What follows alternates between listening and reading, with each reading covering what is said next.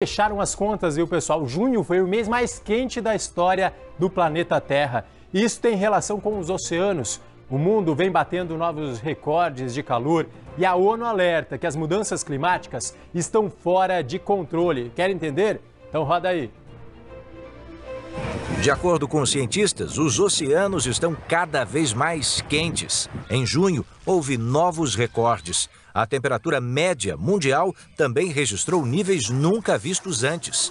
Só nesta semana, a marca foi superada três vezes, passando dos 17 graus Celsius. Além disso, o mês passado foi o junho mais quente em toda a história da Terra.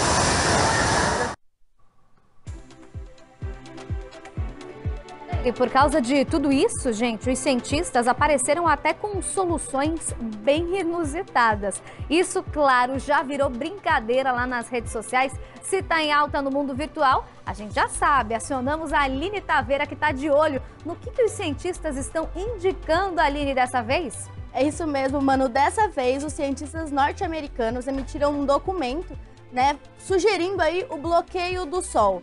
Como assim o bloqueio do sol? Sabe aquela brincadeira que a gente fala de tampar o sol com a peneira? Então, dessa vez não, era a, não vai ser com a peneira, vai ser com um objeto gigantesco. Eles querem bloquear, diminuir as radiações, as radiações do sol é, aqui na Terra. Quem emitiu esse documento foi o Escritório de Política Científica e Tecnológica da Casa Branca, né, o governo dos Estados Unidos. E entre as soluções para bloquear o Sol seria justamente é, a, a inserção de objetos tanto aqui no solo como lá no alto, assim, quase né, em elevadas altitudes, que tem a capacidade de refletir a radiação ou até mesmo clarear as nuvens.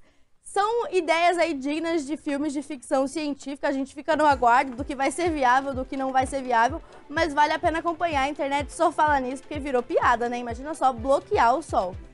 É isso, a gente fica tentando entender, né? Como é que isso iria acontecer. A Aline Taveira com as informações direto lá da nossa redação. Daqui a pouquinho a gente volta a falar com a Aline e volta a falar também sobre esses recordes de calor sendo registrados aqui na Terra. Mas antes disso, nós vamos lá para o nosso outro estúdio com o recado do Bruno. Bruno, boa tarde para você. Bem-vindo ao RIC Notícias Live.